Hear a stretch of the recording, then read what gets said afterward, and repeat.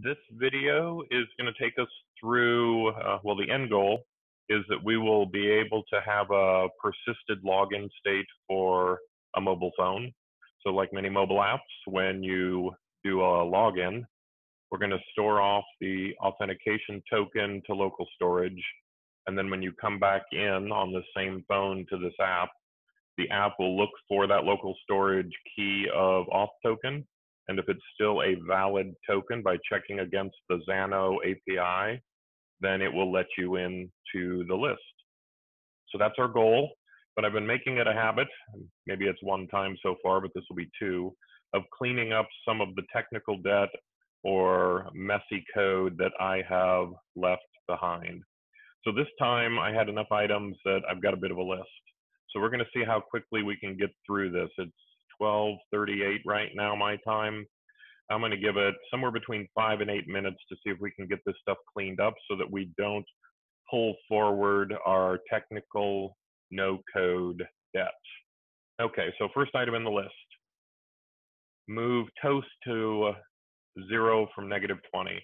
So I'm going to hit the login button and look at the bottom of the screen after this, because that's another cleanup.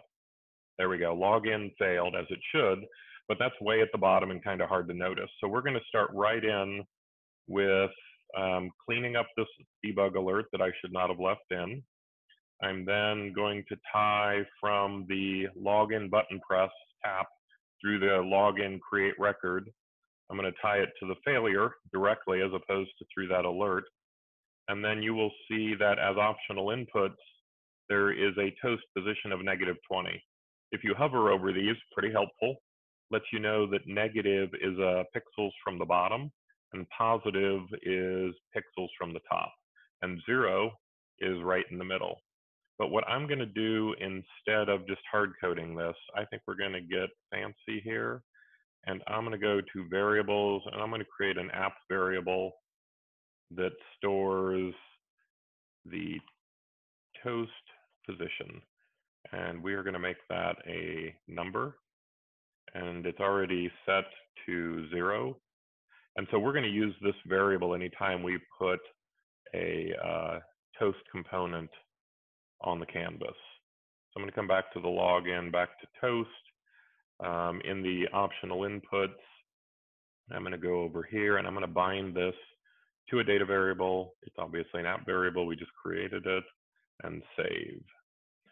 And just to show you what it does, we're going to change that in one more spot, but just to show you what it does, it gets it in my mind right in front of your eyes, and it's a little easier in that two seconds that we have it configured for uh, to make sense to people or for people to be able to see it. Um, I also removed, I'm going to check these off as I go, remove login alert. Okay. Um, we also, in sign up, I bet you we have I'm going to go into the sign up screen and we're going to take a look and see if we have a toast there because I think we do. There it is. So while we're at it, we're going to go ahead and go into data variables, app variables, and set that one as well. So now we have a standard approach to the toast showing up in the middle of the screen for people and disappearing after two seconds. So the next thing that I'm looking at is I want to, if you notice here on the screen, the um, the notch in an iPhone ends up being a little bit close like that. See, that just doesn't really look good. We're covering up some of our uh, some of our logo there. So I'm going to go into the image that's holding that logo and dimension and position. And we're just going to pick, let's say 32 pixels and see if we don't get a little bit better placement. There we go. That looks a little bit nicer. Okay, flipping back and forth. So now we've changed the logo on sign up to a 32 pixel from 8. Now we're going to use that same logo on the login page so we get a little visual continuity on our pages. Now the nice thing is I don't really have to worry about recreating this. I've just clicked on it. I'm going to do the copy from the keyboard and then I am going to jump over to login. I'm going to go ahead and delete the AppGyver logo put this one in there and it sticks it at the bottom as you would expect. And I'm going to come over to the side because it's easier and I'm going to drag it to the top. And now we've done that. So now in a login, we have our logo on the login screen as well. There, so as you can see, now we have login and create new account. I always click on the screen. There we go. Uh, and the other thing is just a straight out bug that I introduced originally. We're going to go back to the sign up. When I do a sign up, click on the sign up button and create record. I'm just missing the initial view when the sign up is successful. But what I'm not doing is setting the auth token that we use through the app variable to actually get us a valid list. So right now, if I were to sign or do a sign up, I would get a blank list of to-dos because it doesn't see that I've been authenticated.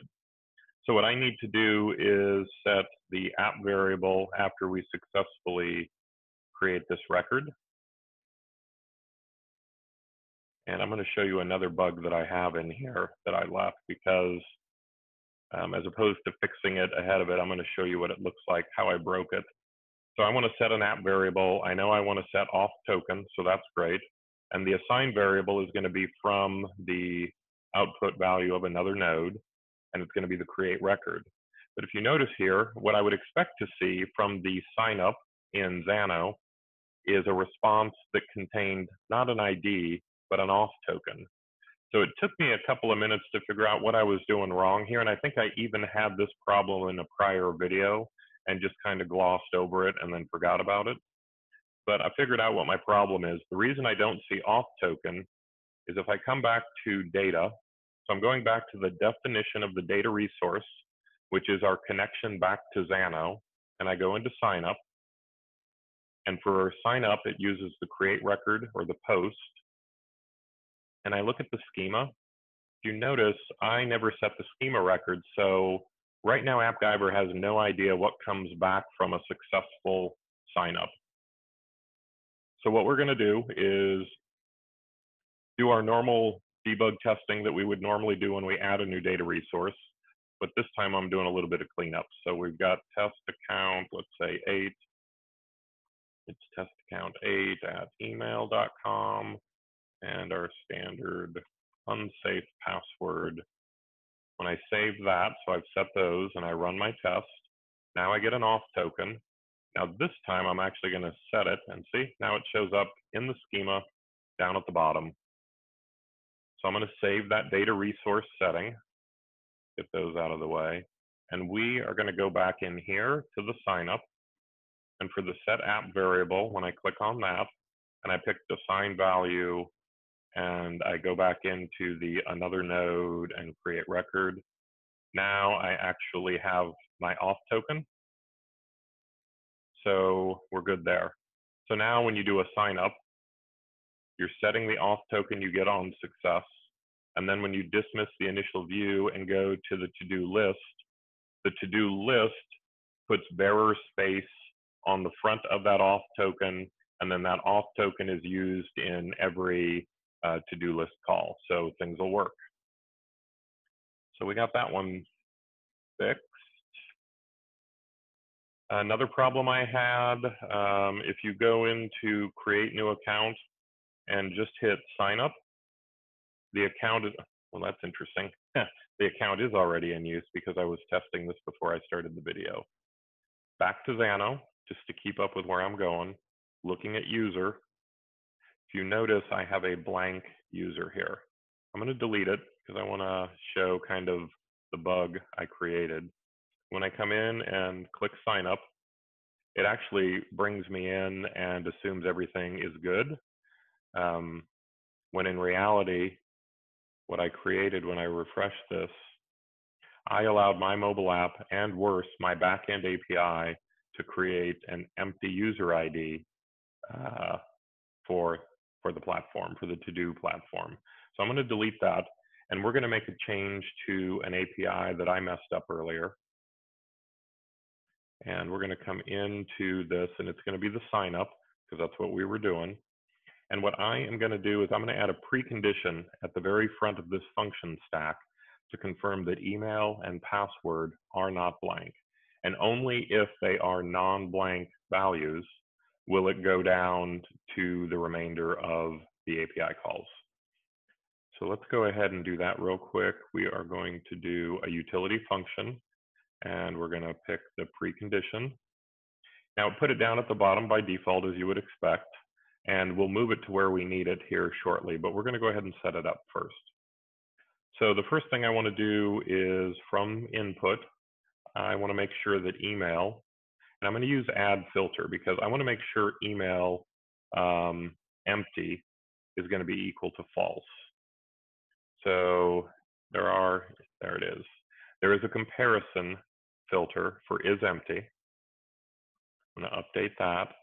And I want to make sure that input email if empty equals false. So I'm going to go over to constants, scroll, and pick false. So this means that if what it's saying, if I get rid of the neg double ne negative of is empty and false, is this is making sure that the uh, email has something in it. And I also want to do that. So I'm going to pick the plus and an and. I'm going to do the exact same thing for the input of the password. I am going to add the same filter. Come over here and type is empty.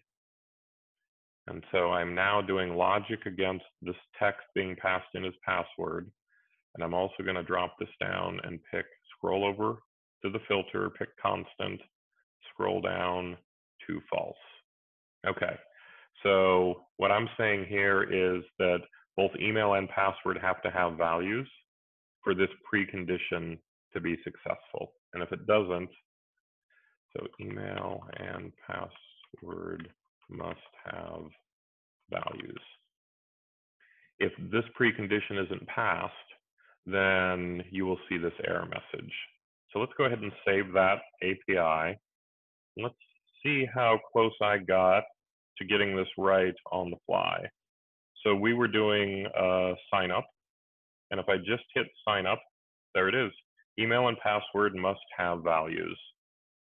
So at this point, the APIs have protected, protected the platform and the database, so I can't get invalid data into the user fields at this point.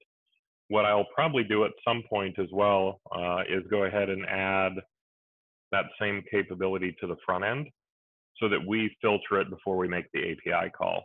Minimally, you have to have that filter on your API, even more important than having it in the user interface, because anybody else who were to use that API for your platform in the future, they won't have your user interface logic of the mobile app. And so the API needs to protect your platform. That's just kind of a great coding and no coding mantra to follow. Okay, and then there is a formula. I'm going to cheat a little bit here. I have this formula that I determined, um, and I'm going to walk you through it, but I want to put this formula uh, for the login uh, like we are going to do in sign up as well. So let's go ahead and when I choose, let me see where I have this here. Put formula error message for login like sign up. Okay, I'm actually going to pass on that one for now if I get a pass. And then we're going to pass on the second one as well because I've noticed, well, I'm doing pretty good on time, I guess. I'm rolling through these. Let's uh, fix this one. This one is going to create me duplicate logic. Right now, I am setting the bearer token anywhere I would call an API. Um, and really what I want to do is there's only two locations where I set the auth token. It's when I do a login and when I do a sign up. And so in those two places, I'm going to attach bearer space on the front of those so that anywhere else in the application, I can just reference auth token as an app variable and not have to worry about whether or not I made it a valid HTTP bearer token. Okay. So that means sign up, we're here, we're setting an app variable. I'm going to change this to be a formula. Or no, I'm not, because this is set app variable. I am going to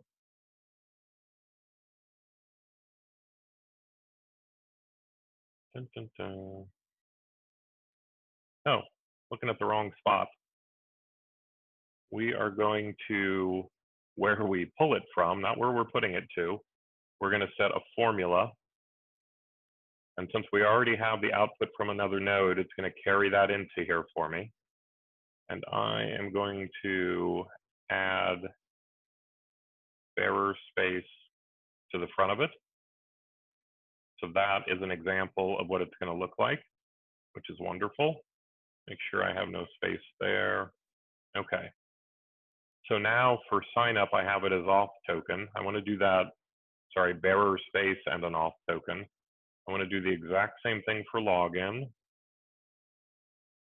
Set the app variable. Instead of getting it just from the node, I'm going to go to the formula again, and I am going to add in there. We'll save that.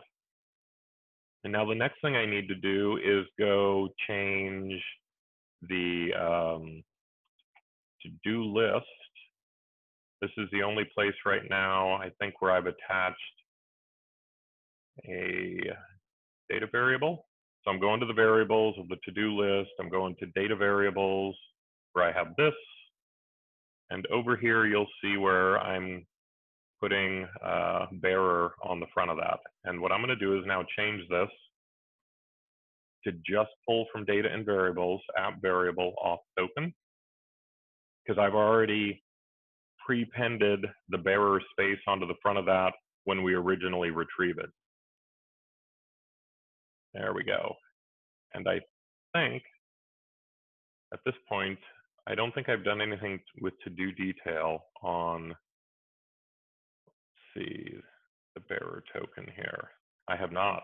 So this is a bug I hadn't really realized I had. When we hit the detail screen, which we have set up, I want the authorization to be the auth token. There we go. So now when we go into detail, we'll have a valid auth token for that as well. And once again, did not have to worry about remembering bearer space. Let me make sure that to-do list.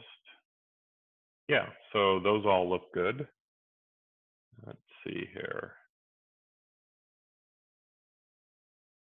Okay, so we should have a functioning app still after all of those changes. I am going to attempt, I don't remember which ones have the right passwords. I've been messing with stuff a little too much, but what we're going to do is attempt to do a login.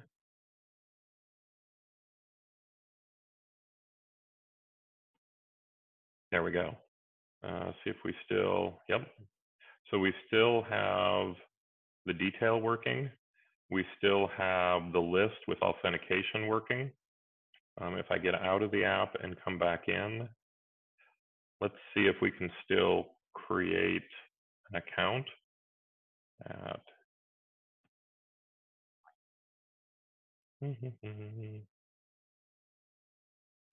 gmail.com and we're going to create a new account. There we go. Oh, why did I do that? I'm on login, silly me. Okay, so I copy and paste the email. I go to create new account. We'll paste that. You get to watch me type again. Put in the password. I am really not with it, am I? Okay. And then we'll just put in anything and do a sign up. There we go. So we get in there okay as well.